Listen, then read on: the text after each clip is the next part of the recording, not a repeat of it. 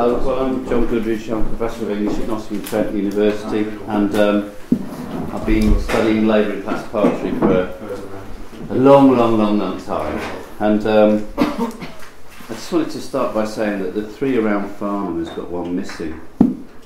Three around Farnham really should have this one in as well. Uh, some remarks of the author's life drawn by herself by Mary Collier. Um, she talks about how she published The Woman's Labour, and then she says, um, uh, having continued a washwoman till I was 63 years of age, I left Petersfield to go and take care of a farmhouse near Alton, and there I stayed till I turned 70. And then the infirmities of age rendered me incapable of the labour of that place. Now I have retired to a garret to the poor poet's fate in Alton, where I'm endeavouring to pass the relics of my days in piety, purity, peace and an old maid. I would love to know where that farmhouse is and where that garret is, but I'm afraid there's no blue plaque. Mary Collier is one of the, like, the key figure in the first community of labouring class poets I'm going to talk about. First of all, I think I ought to do something about what David said about purity yesterday. Made, I, I went away thinking, oh my God, poetry's the opposite of that, isn't it?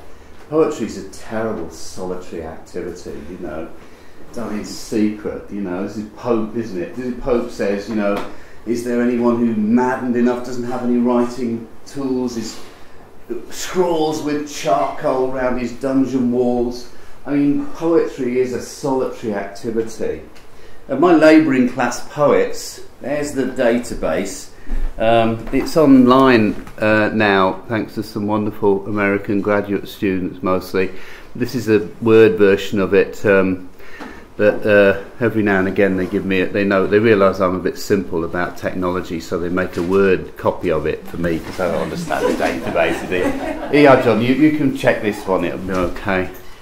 So this is the latest version of a project that started with me basically trying to annoy the editor of the Dictionary of National Biography about a quarter of a century ago by sending along green ink lists of poets that weren't in. And um, it sort of grew into this monster. Um, oh, they are. There's my magician in America, Katie Osborne at Notre Dame, who's uh, who's turning it into something marvellous. And what this is is a is a basic sort of skeleton. Oh, we've got lots of advisors too. Look, skeleton um, skeleton entry at least on all the poets we can find who were clearly of humble origin, declaredly or probably um, who published at least one poem between 1700 and 1900 in these islands. And I say that slightly cautiously because we really haven't done Ireland very well. And as for Wales, we're all terrible monoglots, so there's a massive tradition there that's not recorded. Um, we have 1,719 named poets at the moment. Okay, just a few quick statistics. Uh, about a quarter are uncertain inclusions, so possibly dubious. Um, 212 of these are female. 972 of them are Scottish. There's a good reason for that. Scotland valued its labouring class poets much, much more than anywhere else on the islands, and um, recorded them. Recorded their, you know, had had anthologies and so on, which include biographical information, which means that um, we could we can get to that much more easily. And also, I think there's a, a clear correlation between the Scottish labouring class tradition and the Scottish diaspora of the 19th century. Actually, my one strongest piece of evidence on that is a really kind of tenuous thing that gave me a clue. Um, about 10 years ago, I was asked at the end of the uh, financial year to spend a lot of money quickly. Uh, they had five grand or something, and they said, "Go and spend that on the internet and get us a collection of labouring class poetry." What fun I had that week spending money. Um, the interesting thing was most of the volumes that I got were Scottish volumes, and where was I buying them from? From booksellers in Canada, in New Zealand, in Australia, in the United States. In other words, all the destinations of the Scottish diaspora. That's where the volumes seem to have ended up. And it, that sort of got me thinking about what the purpose might be. So we've got this very strong Scottish presence, much less so with Irish or Welsh, but then that's, that's partly, as I say, because we haven't searched properly. And um, yeah, I've said, I've said something about that diaspora issue there. Okay, and we've made some groupings and categories, but we haven't really done much advanced work on individuals. But you can find some interesting things, you know, if you um, if you search. Um, I've, for instance, found a Keswick road maker that will be of interest to you, um, Laker enthusiasts. Christopher Murray Boosted, roadman of Keswick, who published rustic verses and dialect uh, rhymes. I found the um, the Penge potato seller poet, Joseph Gwyer. Terrible, absolutely terrible poet. But on the front, actually, it, it stamped on the front. It says by royal appointment. What a cheek! He wrote a note to Queen Victoria clearly, and her, you know, secretary would have said, you know, the Queen acknowledges your letter. That's it, by royal appointment. Um, so you got some people who were chancers. Uh, yeah, see, I told you he was a potato poet. He was a potato salesman. Oh, he also got his vicar in the Baptist church to say that the, the volume was very moral. Um, a lot of these, you know, it was a selling point being a labouring class poet. Sometimes it was something imposed, you know, that Clare didn't really set out to be the Northamptonshire peasant. He set out to be a poet like James Thomson, whose seasons he'd read and adored. Um, very often that was a, it was a limitation. But to go back to this business of what poetry is and if it's an individualistic thing, I think the labouring class poets had a particular problem because um, what you've got there is a kind of vertical model. You have a tradition of isolated individuals. You know, the key figure who emerges in 1730, Stephen Duck, um, emerges from village culture. He's been reading Milton at night and Bysshe's Art of Poetry and essays in The Spectator about how you should write, to the annoyance apparently of his, his wife. Um, and he gets to, you know, the local vicar and his wife get to know about this. You can't do anything in the village, even secretly at night. You can't do anything in the village without somebody getting to know about it. The, village, the vicar and his wife find out about this. They encourage him to write on his own situation. The result is the Thresher's Labour and the tradition of labouring class poets and labouring class poets writing about their own life and labour is born. But even before that, you've got stray figures like John Taylor, the water poet of the 17th century, who is a, a water boatman. You know, in other words, a kind of 17th century taxi driver. You know, I had that Samuel Pepys in the back of my boat, that kind of figure. And he, he started writing poetry, I think, to amuse his customers. Uh, Ned Ward, who was a publican, initiated the tradition of publicans writing verse, again, very much to do with their trade you did have uh, a communitarian tradition, and that was the craft guilds, you know, a, a poem on the tailor craft, things that were part of annual um, fe- festivities or activities, right through to one I found in Bristol Central Library. Uh, the Lamplighters of Bristol's uh, Christmas verses, which are, you know, these sort of jolly uh, doggerel verses about their work, ending up with an appeal for a, a, bit of extra Christmas from their people whose streets they're lighting. Um, so you have got this kind of uh, thing running alongside the tradition of the uh, the labouring class poet, but it is an isolated individual activity as far as the you know the, the, the labouring class poets who've kind of gone out on a limb from their culture, the ones who've tried to be, as it were, officially poets.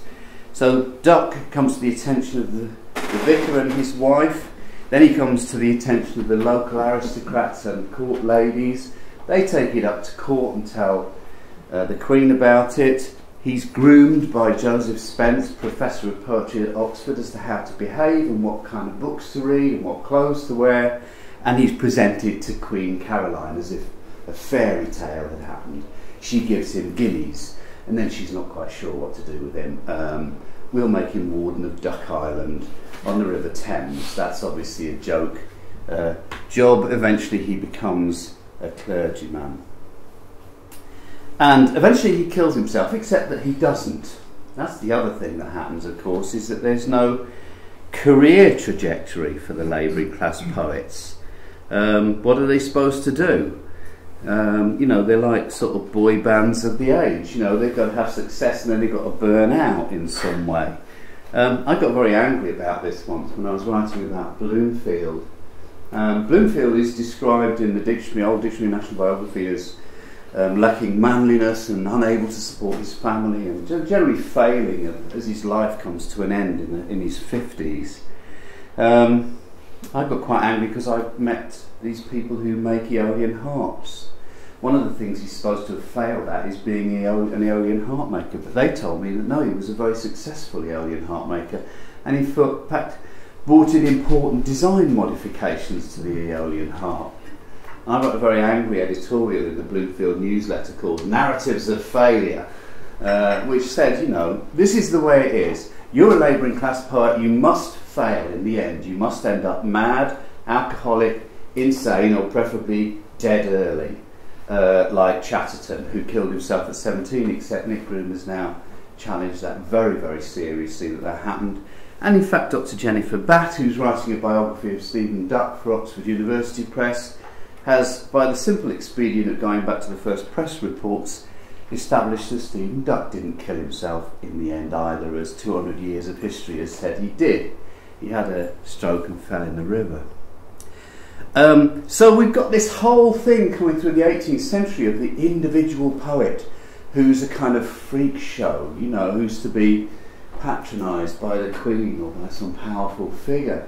Towards the end of the 18th century, they start falling out very seriously with their patrons. You have the uh, notorious bust up between Anne Yearsley and Hannah More over money or over control of money. You have James Woodhouse, whose first volume is one long book of versified cringe, really, about his patrons, uh, how, how grateful he is. It's like this dazzling light that shines on him that enables him not to write anything else. And then 30 years later, he writes a, a, long, long autobiographical poem which isn't fit for publication and isn't in fact published until his Victorian grandson publishes it, um, called The Memoirs of um, um, Martinus Scriblerus is the Pope one, but he does a version of that. He does Crispinus Scriblerus, St Crispin being the patron saint of shoemakers, in which he tears into his patrons and patronage in general, and says that being a labouring class poet has been like being a dancing bear. Um, so that whole um, that whole history is a is a rather glum one that comes down to uh, the transitional figures, uh, especially Robert Bloomfield and John Clare. It's hard for me to tell you what 18th century networks there are, except for that first opening um, opening example of Stephen Duck, whose poem The Thresher's Labour receives a whole range of replies from other poets. The most important of them is by our local Alton poet here, Mary Collier, whose The Woman's Labour very precisely echoes and parodies features of The Thresher's Labour. But there's also a, a quite a marvellous one by, um, by the bricklayer uh, poet um, Robert Tattersall, who um, decides he's going to write a poem about his work, and which mostly consists of what an 18th century building site was like. And was often said to students, that's the only first hand, hand account of an 18th century building site we've got. So, you know, it's valuable for that reason. There's a lot of shouting and noise and a lot of gin drinking all day long, as far as you can tell from his description. Uh, but he also sets up a nice flyting competition with Duck his poem to Stephen Duck, the famous threshing poet. Uh, he says he's going he's gonna get his trowel and Stephen Duck must get his threshing flail. Uh, a flail, a trowel, weapons very good if fitly used and rightly understood, but closely gauged beware the useless flail, the trowel then can terribly prevail. if threshers, millers entertain the muse, why not may not bricklayers too their subjects choose? So we can all have a go, you know. There's a much duller poem by John Frizzle, the miller of Enniskillen, who uh, writes a really boring poem, really, about what his life's like in, in the mill. Uh, I stand by the mill and I, you know, he says, and um, if my mouth be open, I get dusty throat. And you go, shut your mouth. you don't have much sympathy with him, really. But what's interesting is you get this whole group of people responding to Stephen. You get the School of Stephen. And Mary Collier's poem, of course, is the most brilliant and interesting. And um, echoes little things from, from Duck. Duck says, you know, the women come into the fields and they just chat and they don't do any work, they just sit and have lunch and don't know what they're doing, they don't even understand what they're saying, you know. Um, and then they go and hide under the hedge when it rains. And then he says, next day we have a nice day and the, and the sun shines and the cocks in equal rows appear. You know, the, the haycocks. And Mary Collier writes a reply in which she says, I, I don't remember really sitting around all day when I was employed in the fields. Yes, we used to have a break, and of course we used to speak. I've never heard of anybody this side of Turkey that wants mutes to serve them. Um, but in any case, we have to get up then, and we have to rake and prow the, the hay, we have to, to, to turn it over, and they rake and prow it in. The case is clear. Or else, how would cocks in equal rows appear. um, and she echoes these phrases from Stephen Duck beautifully and, and, does this wonderful kind of parody reply and then goes on to talk about what her winter work was like, charring in the houses of rich women. She meant getting up in the middle of the night and boiling up and lighting a fire and boiling up a huge big thing, you know. We can hardly imagine it with our automatic washing machines. So you get certain evidence of a community in the sense that those replies exist. You don't really get any continuity. You don't really get any sense of one leading to another or beyond that, that sort of opening kind of set of ripples that Duck's poem creates. What you do get, I think, later on is um, a, a, tradition of writing back in the sense of, of honouring earlier poets. You can search Clare's notebooks and manuscripts high and low and not find much reference to Stephen Duck or any of the early ones. I think he quotes something from Anne Yearsley somewhere. But it's very frustrating. But he does um, cite Thomas Chatterton, the marvellous boy, the one who supposedly killed himself at 17 but didn't, and Robert Burns. Robert Burns becomes the first figure that lots and lots of labouring class poets write back to in different ways. There's poems about Burns's grave, poems about Burns's writing, and so on. As I say, the Scottish tradition is somehow different. There's an evaluation of it, and there's a sense of community in it. Fantastic things happened in the 19th century. In the town of Paisley, literally hundreds of volumes were published of poems and songs by labouring class poets, mostly weavers, um, mostly by one publisher. So somehow, if you were a weaver in 19th century Paisley and you knew a few songs and you could knock out a couple of lyrics like Burns, you could get a book of poems published and people would buy it. Uh, they would sell like hotcakes, otherwise why would this guy come on printing them? Um, so Scotland is slightly different. Um, but there isn't a career trajectory and there's no way forward in terms of how to do it. Things come slightly different with Bloomfield. Bloomfield almost blunders into a literary career. Um, you know, he goes to London, he's worked on his uncle's farm, he follows his brothers to London, he works in their shoemaking sweatshop, he's little and young, and therefore he's the one who can be spared to go and buy the newspaper and read it out for them all day because he hasn't got any Radio 4 in the, those days and they're bored. He sees people making speeches, mostly in Sunday sermons, and he reads Thomson's Seasons, this text that seems to fire people of a, of a, of a humble origins who can read and write to write themselves. And so he writes the farmer's boy, and he gets picked up by a very unusual patron, Capel Lofft, a radical lawyer, uh, a man who had a, a, a, passion for publicity as well as radicalism.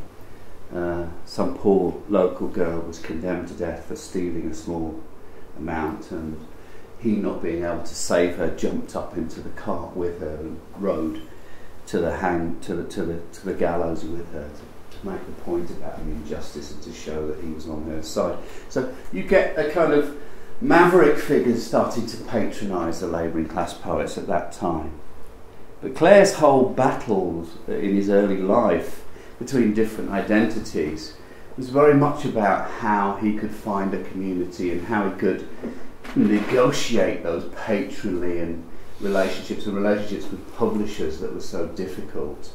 Um, if you look at the correspondence, um, when I was writing my book last year before last on um, John Clare and community, I found a, a, fascinating set of connections with Bloomfield and with Keats, uh, both of whom Clare identified with, um, but didn't quite connect with. In fact, physically, he didn't.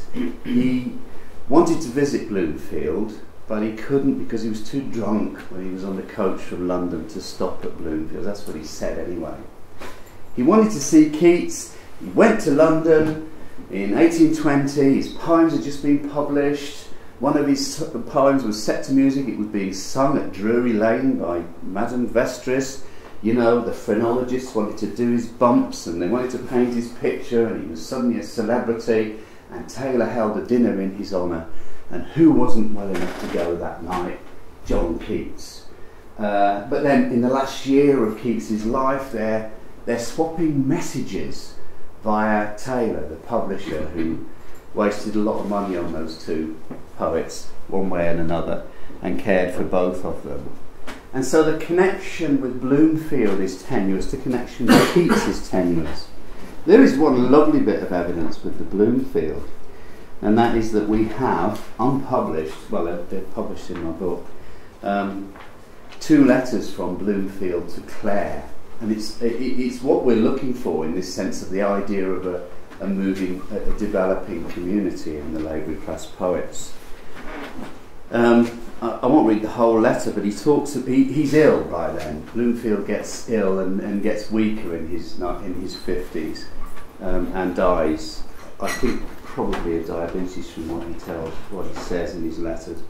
Um, he just says he's had Clare's volume and he's, he's really thrilled with it. Um, uh, he said he said he starts talking about the poems. He said, "I bet not turn critic, but say the truth."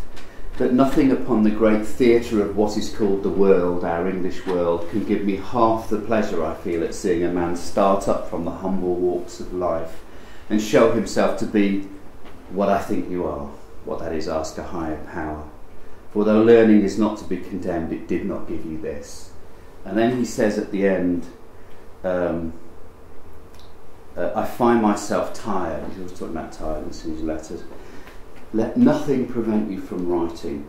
For though I cannot further your interest, I can feel an interest in it, and I assure you I do. And I love that play on interest, you know, interest in that, that era meaning, you know, ha- having interest means having the power to help somebody along financially or otherwise. He's turning it and saying the other kind of interest, which is I care about what's happening to you. Um, and ends by saying, I've written this on my old oak table and I think you know what that means. He's Bloomfield's poem to his old oak table is about finding a kind of consolation and a comfort in life in this solid piece of furniture which has literally supported all his writing. And so he's trying to pass that forward to Clare. So there is this kind of evidence of a, of a developing tradition. And when we did these six volumes of uh, labouring class poetry for um, Pickering and Chatto a few years ago, we did some very kind of intricate um, subject indexing. And one of the things we did was intertexts.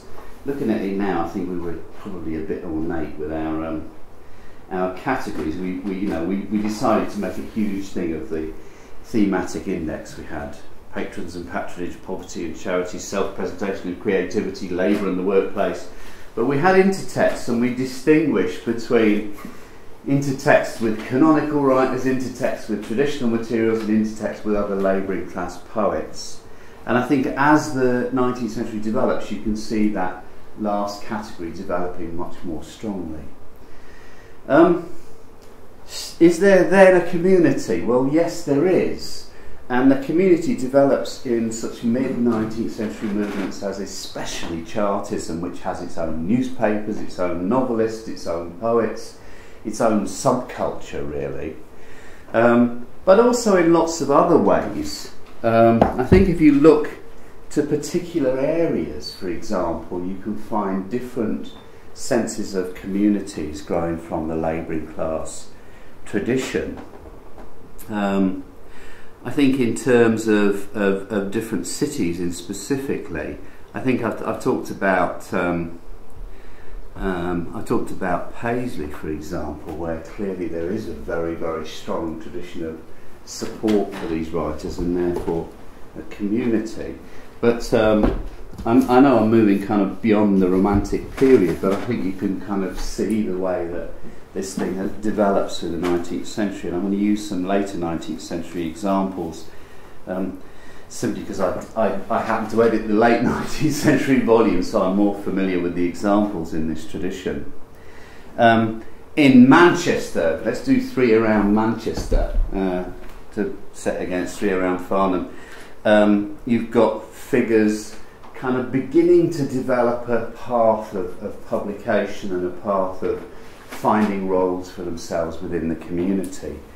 Um, Samuel Laycock, for example, who became known as the cotton famine poet, though um, technically a Yorkshireman, decamped over the bumps to the Manchester side very early in his life, and became a kind of um, well, worked in popular dialect forms, and I think dialect is, is, is very strong in the 19th century. we we, we associate early dialect writing, and in fact later dialect writing, with humour, you know, with figures uh, from Lancashire, you know, running right through to people like George Formby, but um, right back to the 18th century. But um, he uses it quite often in a, in a more serious way to to give himself a role with and to get involved in the community. And his moment comes with the cotton famine of 1860, which is caused by the blockading of the southern ports. Um, cotton is all that Lancashire does by then, especially Manchester, Cottonopolis. And so Laycock starts writing these uh, broadsheet poems. They're just printed very cheaply on pieces of paper and sold for a penny or whatever in the streets. And they sell like hotcakes, they sell in their thousands. He becomes a genuine popular poet. I'll give you a little taste of what he's doing. There's no good in cowering in the dust, is the title of this. Come, Dick, let's have hold of the hand. What a dreadful long face that keeps pulling. These bad times they'll ne'er manage to stand, except their minds well what they're doing. If I've out in me house or me purse at that, at that, and really in need on, I'll lend it. I see the old coat's getting worse, uh, but I'll look up a patch to mend it. I wish I'd me hat full of gold. I'd make somebody glad with me giving. I'd miss neither young folk nor old that wanted a lift with their living. There's thousands of poor folk I know, or hard times and poverty grieving. There's one or two lives it next row. I should feel rare and proud for relieving. Well, this is what Brian Maidment would call the homely tradition. Uh, but you know, the idea is the poet is just one of the community. You know, he's talking to an individual. He's just the person next door. But actually, he's also able to import what Maidment. Maidment makes three categories: homely, political, and Parnassian. And he actually manages to smuggle a bit of uh, political and Parnassian in. Quite interesting, I think, in, in a poem like Starved to Death. Starved to death, did you say? Dear me, why bless us, where in the world could that be? Were it somewhere in Greenland where the north winds blow, or rambling up moors and lost in the snow, etc.? Nay, nay, you're not starved on a foreign strand, but here, at home, in this Christian land, where uh, the sound of the organ going bellies heard and charities preached in the name of our Lord, where the priest and the Levite on luxuries dine and nobles and statesmen get fuddled on wine. It were here, in old England, this Queen of the Isles, this garden of ours, on which Providence smiles I've come out of dialect for a purpose then because he has really. What he's doing there is citing the King James Version and Richard II very clearly this garden, this Eden, etc., etc., this other Eden.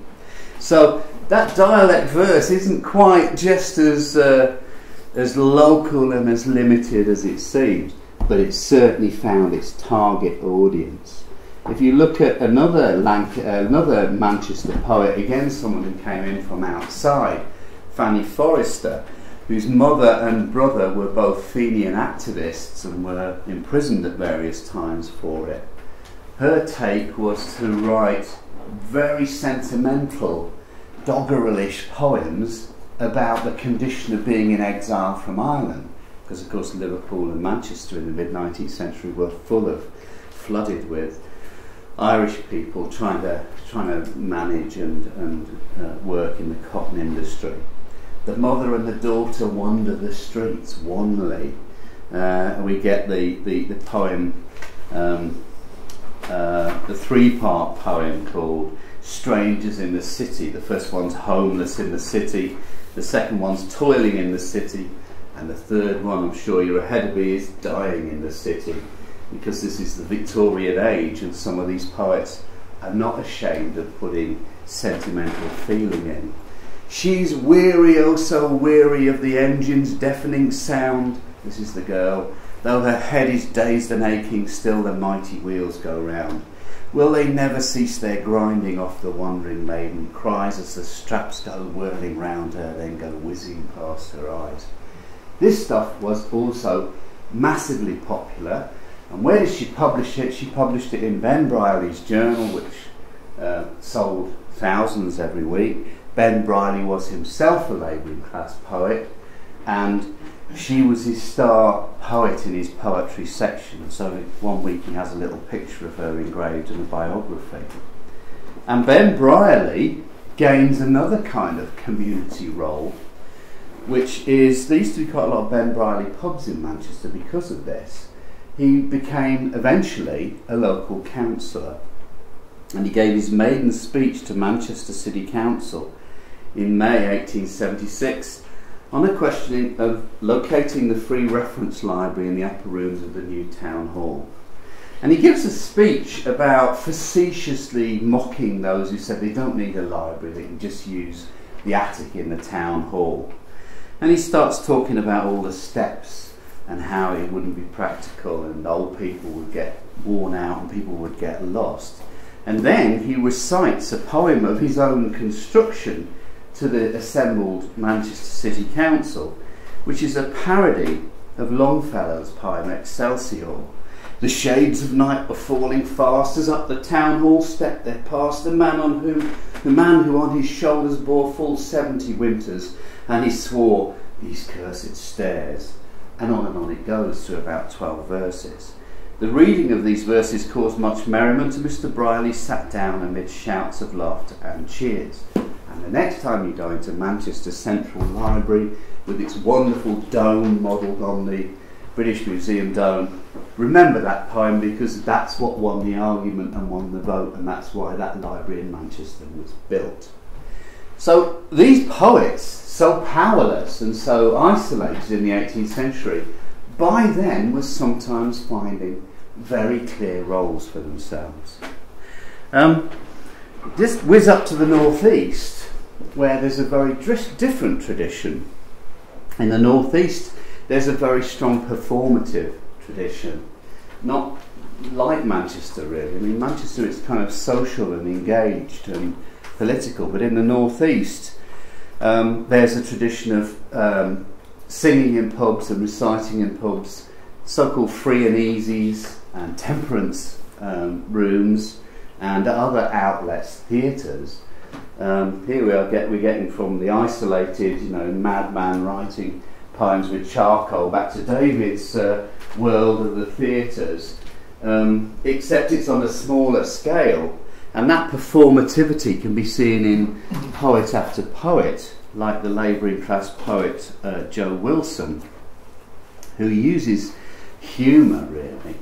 I don't know whether you'd say there was much politics in it, but um, he has things like monologues I wish your mother would come, or Ward Geordie's notions. Of, I can't do the accent at all. I should get you to come and read this. Uh, or Ward Geordie's notions about men nursing bairns. And Geordie's left. His wife goes shopping and leaves the bairn with him. Being a Geordie male, he doesn't even know which way up to hold it, and in fact drops it in about, I think, the second verse. Then Geordie held the bairn, but sair against his will. The poor bit thing was good, but Geordie had nae skill. He hadn't its mother's ways. He had both. He sat both stiff and numb. Before five minutes was past, he wished its mother would come. And that's the refrain. I wish your mother would come. I wish your mother. He wants its tit. He says it's hungry, and I don't know what to do. And he drops it, you know, and picks it up again. And and what he does is he finds real pleasure in that richness of dialect. He does it again in. Uh, a poem called um, The Row Upon the Stairs. The, the row poem is a staple in the Northeast. Tommy Armstrong has the row between the cages where these two uh, pit cages have an argument as to which one's the best. uh, and these, this is two women uh, in, the, in the tenement, and one of them says to the other, It's your turn to clean the stairs, and then this argument develops. And he's loving using that dialect to, to effect and they get really, they start, you know, hacking verbal lumps out of each other. Says Mistress Todd, you great skate gob, you'd better have your jaw. The very shift upon your back belongs the wife below. Ye lazy wretch, shouts Mistress Bell, it's true, there is nae doot. Last night you fuddled with Bob the Snob the time your man was out. skate gob, that means fish mouth. Uh, the shift on your back belongs the wife below. Even the dress you're wearing, you've stolen off the washing line from the woman downstairs. Uh, you fuddled with Bob the Snob, it means you uh, canoodled with Bob the shoemaker when your husband was there. And he's really just kind of, it's the pleasure, isn't it? It's the pure pleasure of the dialect that is being used. I mean, there is a series. So the interesting thing is when he comes to write a poem about the Hartley catastrophe one of the many coal mining catastrophes of, of the 19th century. Uh, 204 men and boys were buried alive in the new Hartley pit. This is how he writes. By the watchfire's glow amid the falling snow there reigns a death-like gloom, while prayers are murmured for those below, immured in a living tomb. So he just goes straight, boom, Geordie accent gone, dialect gone, straight into respectful RP like putting a suit on at a funeral. Um, and I think you can find all kinds of uh, these kind of complexities. There's a flexibility about that. Um, there's the idea that you can um, you can put accents and voices and personalities on and off. Um, I'm just going to stay in the northeast uh, to conclude. I mean, even if you just go looking at the different books, when I um, when I bought up these books for the for the collection, and we've now added all Brian Maidment's books to it, we've got quite a really good collection. I found all sorts of interesting things in the physical evidence of the books. Very similarly, you know, to the kind of things that you were seeing this morning in the in the manuscripts from the archive. Um, the books tell you something really interesting. Robert Elliott's Poems and Recitations, Choppington, 1877 is a plain ultra slim pamphlet. This is the catalogue that, that me and the librarians did. A plain ultra slim pamphlet of verses produced by a Newcastle coal miner offering a good example of the most modest level of labouring class publication with dialect and political verse. It's a tiny, tiny, tiny little book. Who's paid for its publication? Well, whoever it was wasn't rich. Uh, it's the most modest uh, kind of publication you can have. Contrast with that Henry Houlding's Rhymes and Dreams, Legends of Pendle Forest and Other Poems, Burnley, published by B. Moore for the Joint Committee of the Literary and Scientific Club and the Literary and Philosophical Society, whose uh, archivist has, has, gone now, but um, uh, uh, uh you can see there that there were resources coming out of the development of local clubs and societies. Why have they published his poems? Because it includes a title that says Legends of Pendle Forest, and therefore that whole developing local and regional pride, that new sense of our community being different from anybody else's, is, uh, is powerful. Um, you could talk about other other ways in which communities um, are you know, expressed and manifest in these traditions. I'm going to finish in the northeast since I've gone there now. I'm going to talk a little bit about a poet called Joseph Skipsey, who was much valued in his time, but who seems to be the most isolated figure, who learns to write uh, at the bottom of a pit um, as a trapper boy.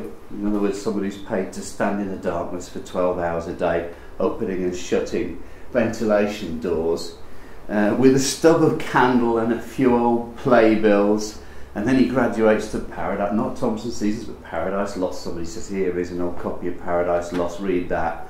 Uh, and then on to Shakespeare, and becomes one of the most astonishingly ambitious of, of all the labouring class poets of that period. Works for a while at the Lit and Phil and then for a while at Shakespeare's birthplace.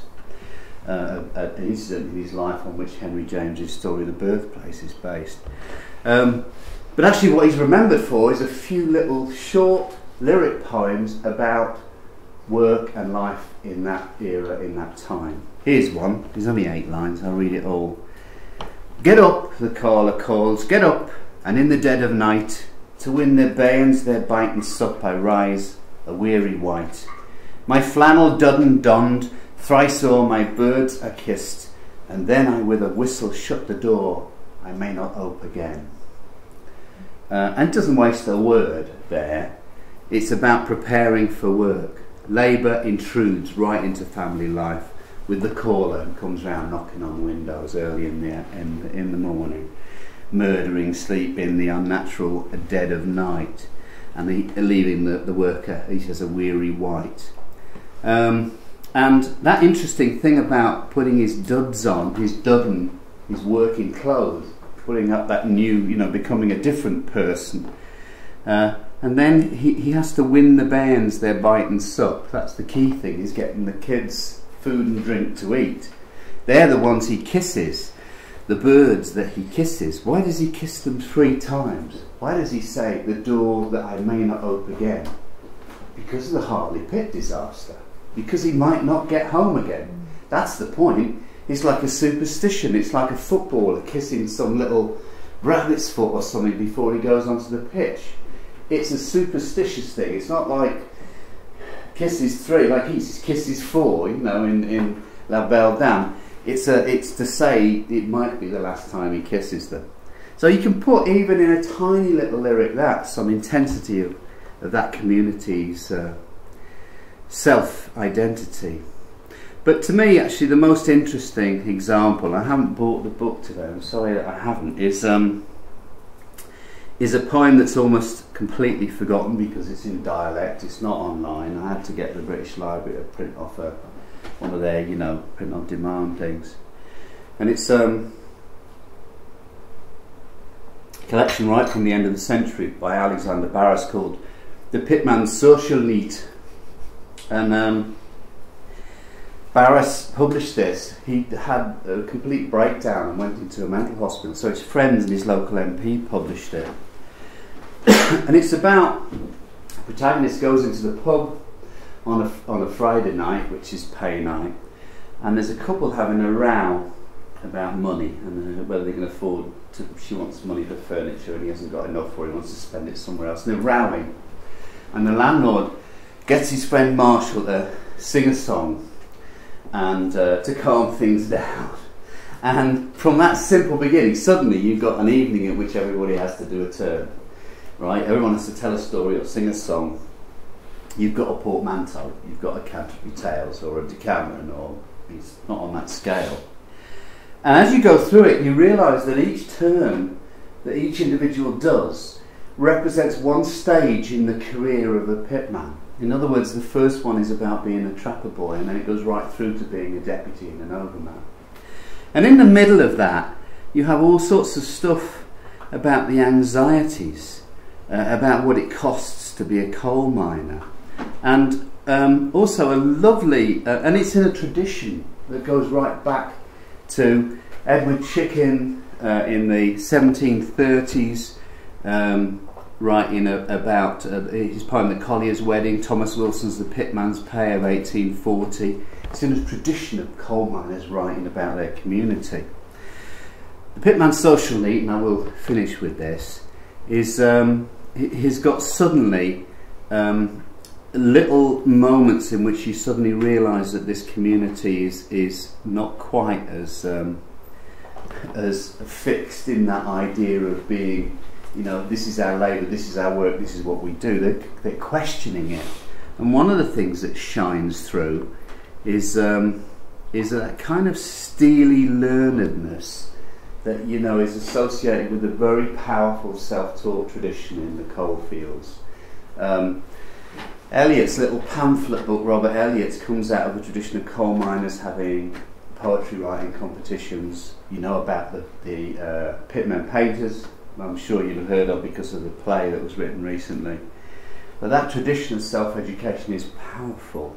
So, there's one of these uh, poems. Um, it's actually the, the guy who's been rowing, and it's the conciliation between the couple. And he says at the end, he goes through all the bad things that happened in their life how their child died and he got sick and couldn't work. And then he says, That look tramps with us step for step through dribbling life's brand new beginnings, like his own shadow haunts a chap till he's played through life's dowly innings. Greet men poo poos, no Mars, no men's, these facts of life. On looking through them, we find a fate that shapes, shapes our ends no matter how we may rough hew them. Which is Hamlet, isn't it? Only it's octosyllables instead of decasyllables.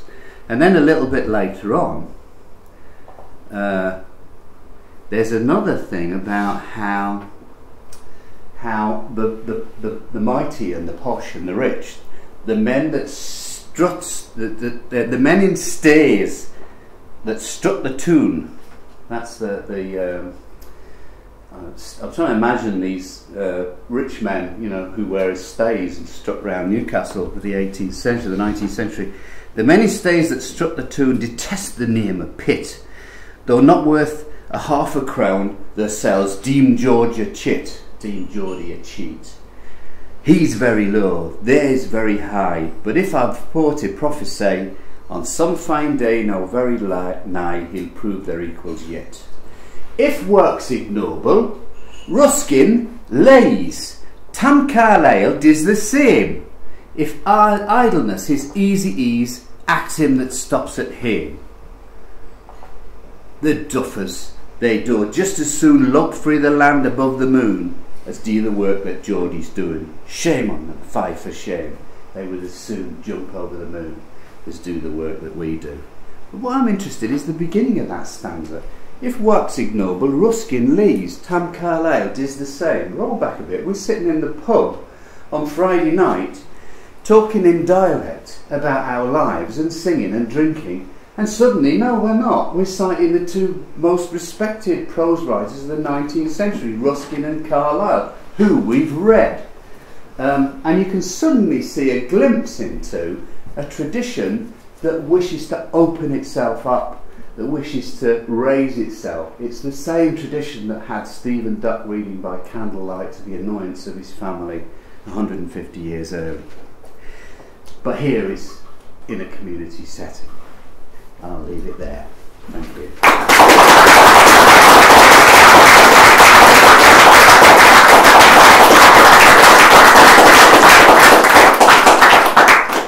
Thanks a lot for that, John. Uh, questions or comments?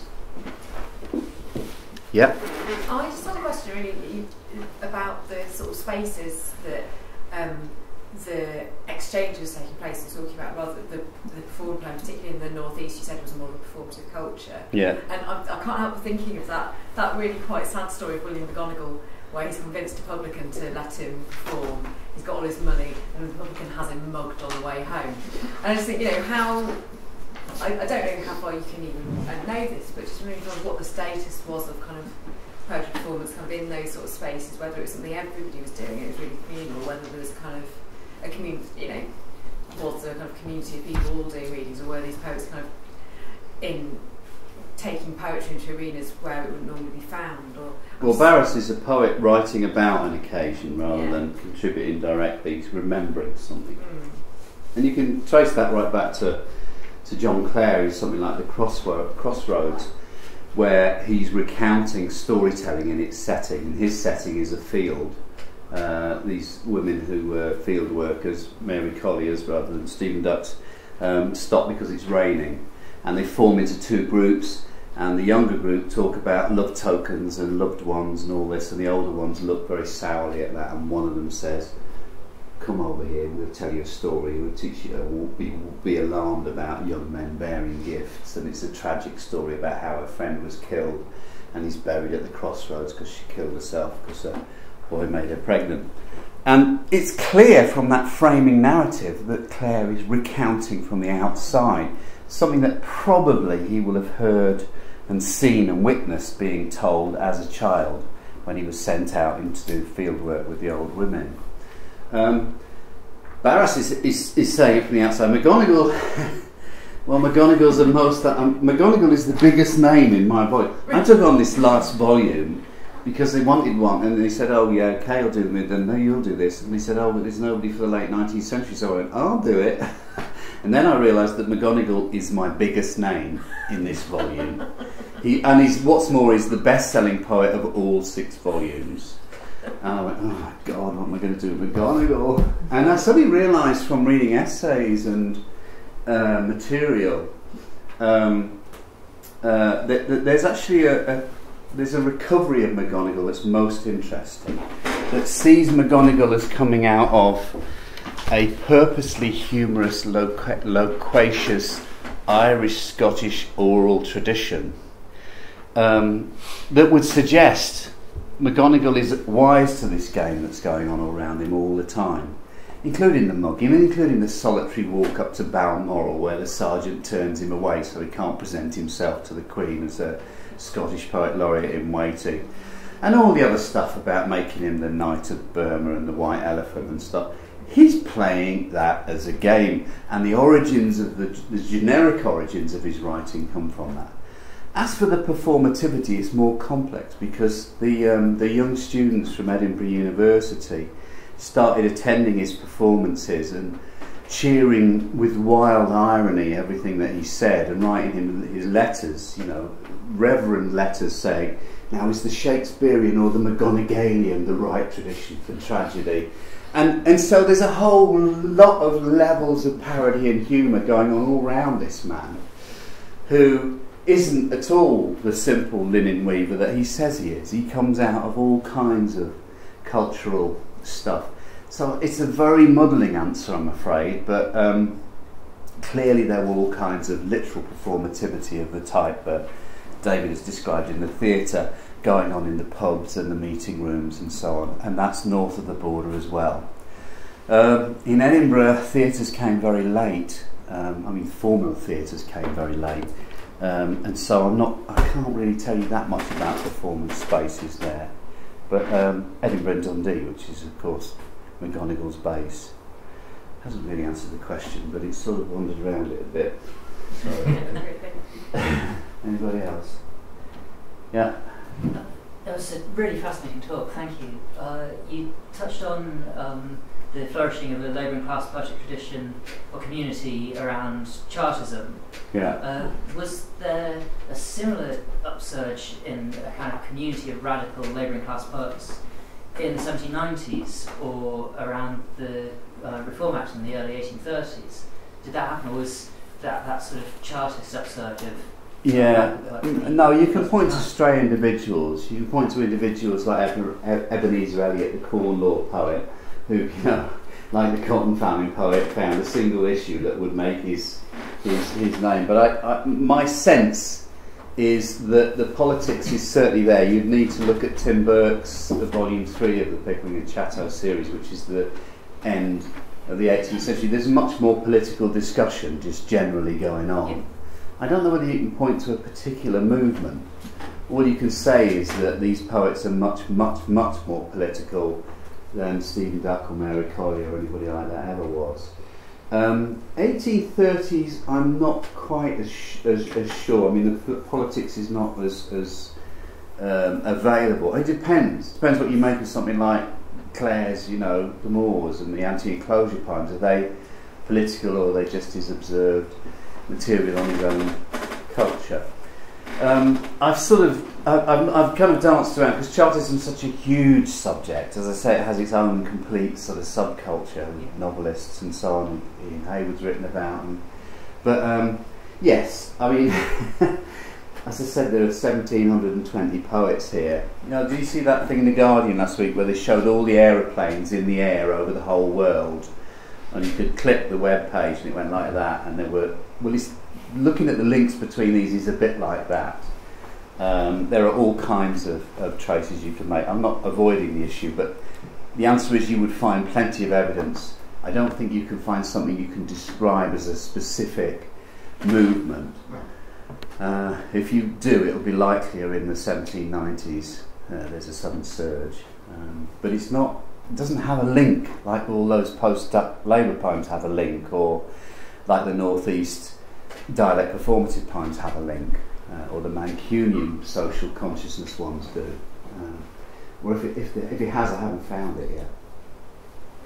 Yeah, John. Yeah, um, I was just thinking about the, the different kinds of community to which you referred. I mean, in making like, when you made that switch from uh, Manchester to. Newcastle, Yeah. yeah. Um, so, just to just just try and think about. I'm trying to think about what you said. You- You've got labouring class poets. Um, just so so you might have someone who writes about a certain kind of agricultural labour, like Mary Collier, you know, down the road. Mm. And that might be a way of writing about that community of this part of the world. And everyone who's engaged in some way in that visible labour of agriculture can share in that as a community. But that's very different, is it? I'm asking the question. Uh, to Paisley, where you've got a certain almost industrial capacity to share in labour, but that's not the whole community that might be sharing in that labour in the same way as an agricultural town or village. It is most of it actually But, but then, but then Yeah. perhaps it might become self-consciously, the town might self-consciously uh, become associated with that poetry. it's So that's a kind of secondary Yeah. level of, Yeah, of community identifying with the cultural product that comes out of it. And then you've got this, what you seem to be saying is much more multifarious. Uh, pub, club, assembly room, temperance hall, uh, set up in, in, um, in Newcastle. So I'm just trying to think about, there are different kinds of community depending on what kind of labour's involved and what kind of, um, what kind of nodal point of, of you know, community there is surrounding it as well.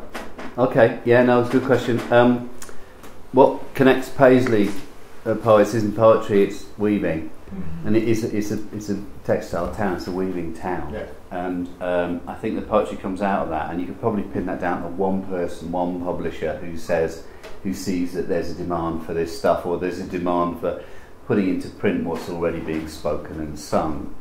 Um, so I don't think it becomes named. It, oh, it's only later that people say nobody's produced more published poets in the whole empire. I think someone says than Paisley. Um, in the northeast, I've mixed up two things really. One is the coal mining culture, and it's and it's it's what I call its sort of steely, self-educated tradition, and its tradition of um, poetry writing, and the pub and club culture, which is very much about performativity and humorous uh, figures, Billy Purvis, Ned Corvan, all these kind of semi-legendary performative figures of the 19th century. They come together in Barrass, who is both. He's a he's a coal miner, and he's but he's also writing about coal miners at, um, at the point at which they join that performative culture. But there are two certain, certainly at least two different things going on there, um, and I didn't make that clear. I don't think. I mean, I, I'm trying to draw some uh, categories and some, but you know, I do feel that uh, we are still at the beginning of this project, really, um, and there's so much to be done. My um, American graduate student angels are doing things like going through all the sources on manuscripts and archives and adding those into the entries.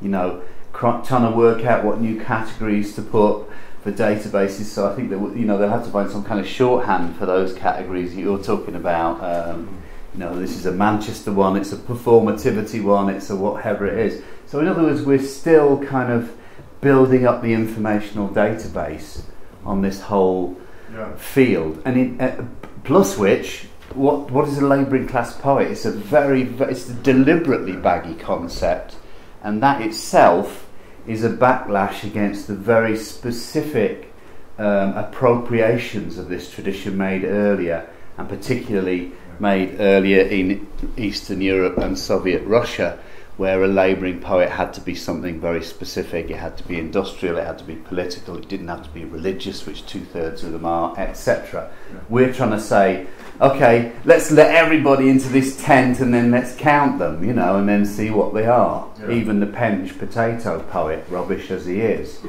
Um, and then see what, what the tradition is. So, in other words, we haven't.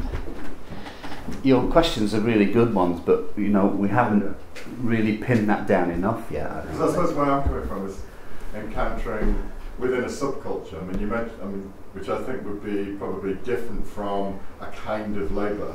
Yeah, Uh, so you might have weavers or you might have coal miners. yeah, Well, I suppose the ones I'm familiar with again is boxing right, and manly sports. Yeah. So in London, what you seem to have is a network of often through publicans who come down from other parts of um, the UK. So from Liverpool, Wigan, Manchester, to name but three of the ones I'm familiar with, and they're known as purveyors of poems, not just songs right. in in those pubs in London where the fancy is celebrating itself. Mm. So it seems to me that that's a kind of subcultural national network that's also producing a, uh, a labouring class, perhaps might you know might be this a, a useful term for them as well, but actually they're inhabiting a different space Mm. within the culture and have different kinds of networks because it's a subcultural one rather than one that's based on a kind of labour or you know uh, the work that they do.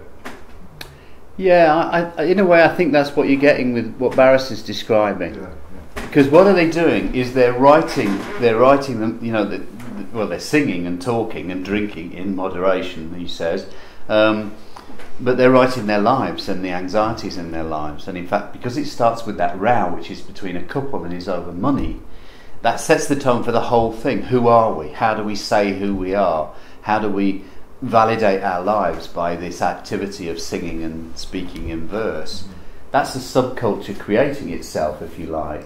Uh, subculture is quite the right word there, but it's a, it's a, it's you see what I mean. It has that idea of a group identifying itself in some way, uh, not Yeah. randomly put together by some 21st century, you know, yeah. loudmouth in a university, um, but actually identifying itself and creating itself Yeah. at a time. Yeah. Okay. So, Um, yesterday we were talking about Lit and Phils and how Manchester and Newcastle had communications with each other, and that kind of based in Warrington and things like that. And it struck me that we were looking at fairly separate creative communities in different places here, and that dialect dialect might be a barrier to that. Obviously, that Yeah. different dialect. And uh, you talked about Skipsey. He's always really interested me because he managed to to be a dialect poet who you know, met Tennyson and you know all, all these things and became quite not quite a national celebrity, but someone that people knew nationally. yeah, he actually knew Ruskin and Carlyle. Yeah, and so but, but, but, but was still famed for being a dialect poet. Now, I grew up in Newcastle in the, in the 80s, and my grandparents always talk about Bobby Thompson, who was a Yeah. famous Newcastle comedian, really Yeah. from Sunderland, but that's not really important. And the, the TV was the TV was the death. locally. TV was the death of him. Right. That, Right. that when Thompson got an ITV contract, so he was massively famous in the northeast, and he went down and did one series of a TV show, and they were just like, we don't find him very funny at all nationally because he's not he's not capable of doing that. Now, is that do you see that Newcastle trends or Manchester trends cross the Pennines or come into other parts, or is dialect kind of inhibitor? I haven't found that in the time really, except that what you could say is a lot of these uh, volumes would be published nationally, and you can see when there's a London publisher on it as well. Um, whereas Barrass is not a London publisher; it's um, it's a Gateshead publisher, I think. Um, but some of them do, and when they do, they're published in London or Edinburgh as well, from Newcastle sometimes.